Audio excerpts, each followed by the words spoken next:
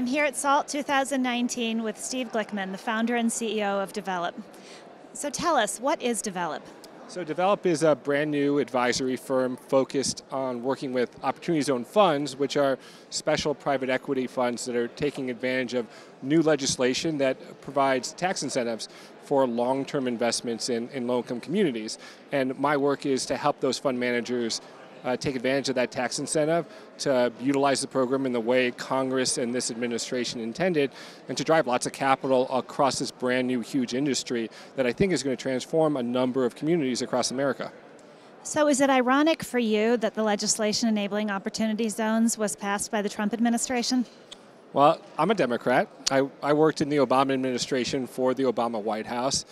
But i have always been very practical. This was a legislation that came out of the ideas of both Republicans and Democrats on Capitol Hill.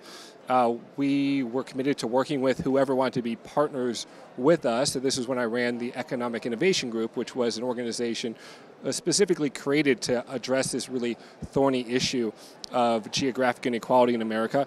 And it turned out that message and, and the idea of private capital being a solution to that problem resonated with you know, me, uh, members of Congress across the aisle, with governors and mayors, and ultimately with this president.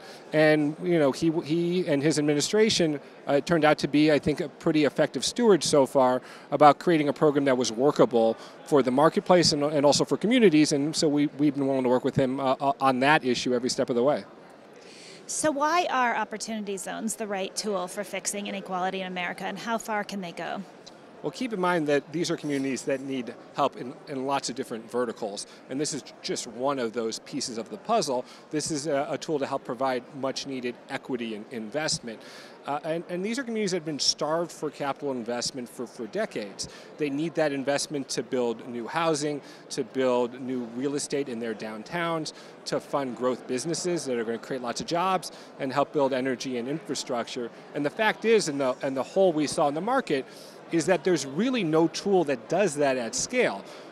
The Opportunity Zone program, we think, will be able to move tens of billions of dollars, maybe a hundred billions billion dollars a year in equity uh, investment in these communities. And you know, for places that have been starved for capital, this is going to be a change in the, their way to plan for their future uh, in a way I don't think we've ever seen before. It's it's almost like a, a, a Marshall Plan that's being crowdfunded from investors uh, for the the 21st century, and you know that's why I think people are really exci excited about it.